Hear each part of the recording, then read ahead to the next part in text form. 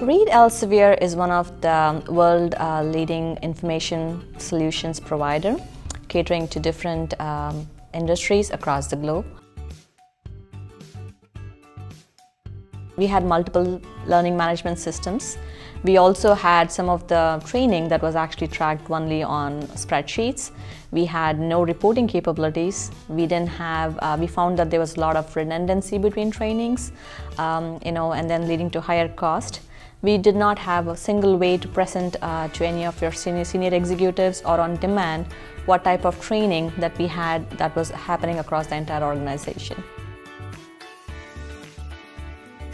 To address this, we actually, um, as part of our HRIS rollout, identified the need to have a learning management system and it was decided that we would roll out the learning management system as part of our HRIS rollout so that way we could make sure that every, everybody was coming on board on a single learning management system globally.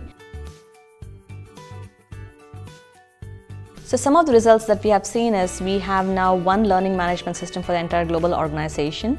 Uh, we have rolled it out to all our businesses. Uh, our new hires automatically come into the system.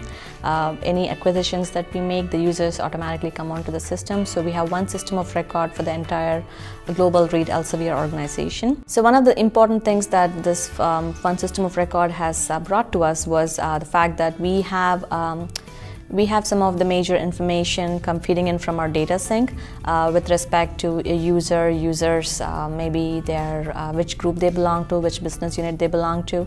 That typically is kind of stored. So when we have to run a report, we can drill down to the level we have to, we can run it for a specific business unit, or we can run it for a specific user, or we have to, we can run it for the entire organization. So we see quite a value in the reporting that we have uh, because of the fact that we have a lot of information flowing in from our HRIS system uh, into, the, into our learning management system. One of the main things that anybody would be looking for is just to see how best we use the learning management system, how we have turned it for a global organization.